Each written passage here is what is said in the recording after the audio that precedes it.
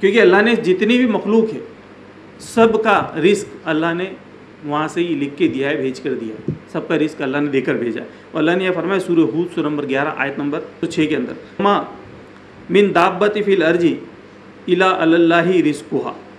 और ज़मीन पर हरकत करने वाले में से कोई जानदार ऐसा नहीं है जिसकी रिस्क जिसकी रोज़ी अल्लाह के ज़िम्मे ना हो। यानी सबकी रोज़ी की ज़िम्मेदारी अल्लाह ने ले रखी तो कोई भी ऐसा नहीं है। दुनिया के अंदर वो चाहे छोटा हो, चाहे बड़ा हो कीड़े से लेकर तो हाथी तक और इंसानों के अंदर से जितने भी सबका रिस्क अल्लाह ने, उसकी जिम्मा जो है अल्लाह का है। अब ये आयत पे हमारा पूरा यकीन है कि अल्लाह की आयत है तो अल्लाह ने फिर अगर भेजा है तो फिर लाजमन है तो भेजा ही। तो फिर रोजी भेजता है वो तो लेकिन उसके बाद हम देखते फिर भी लोग भूख से मर जाते अब अल्लाह तो कह रहा है कि हाँ भेजता हूँ। वो ज़िम्मेदारी है मेरी। लेकिन उसके बाद भी हम देखते हैं कि आज भी रोज़ हम देखेंगे तो कोई मुल्क ऐसे हैं कि भूख से वहाँ पर रोज़ सैकड़ों की तादाद में लोग मर जाते हैं, भूख से। हमारे यहीं मर जाते हैं कितने लोग, भूख की वजह से मर जाते हैं। तो ये क्यों? क्योंकि अल्लाह ने इंसान को इख्तियार दिया है और वो इख्तियार की वजह से क्या करता है कि एक आदमी, दस आदमी का रिस्क भी लेके खा जाता है और अल्लाह इसमें दखल नहीं देता।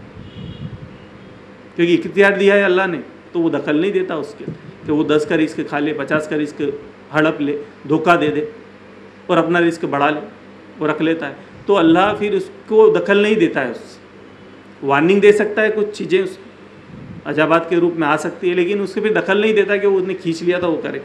तो ये है कि क्योंकि इसमें अल्लाह ने उसको आज़ाद छोड़ा है।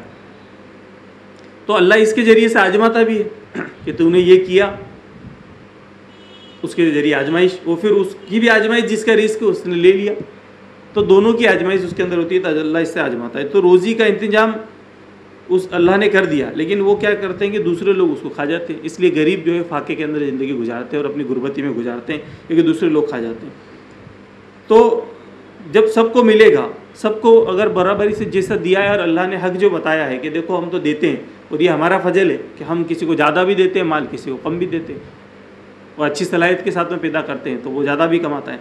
तो सबको तो लेकिन ये कि तुम्हारे पास हक तुम्हारे पास रखा है तो दूसरों को दोगे तो इससे माशरे के अंदर तरक्की होगी। लोग इसमें तरक्की करेंगे। तो ये सब जैसे एक जैसे हो जाए, ये तो नहीं हो सकता, नहीं तो फिर दुनिया नहीं चलेगी।